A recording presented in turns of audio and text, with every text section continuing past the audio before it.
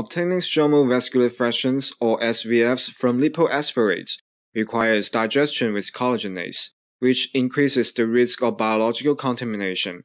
A better way to obtain SVF without collagenase should be developed. These techniques enable us to obtain the SVF and its native extracellular matrix through a simple mechanical process. Demonstrating the procedure will be Xihang Chen, a grad student from our lab.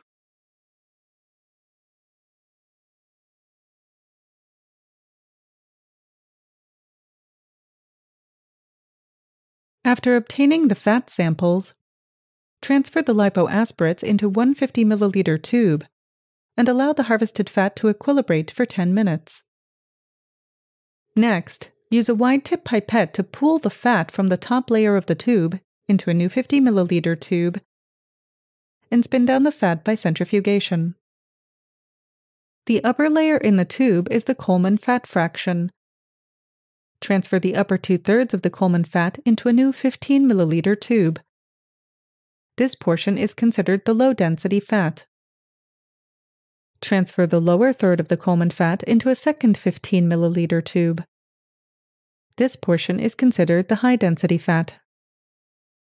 To produce an extracellular matrix stromal vascular fraction gel from the low density fat, Use two 20 milliliter syringes connected by a female to female Luer lock connector to intershift 10 milliliters of the low density fat. This is the key step to destroy adipocytes.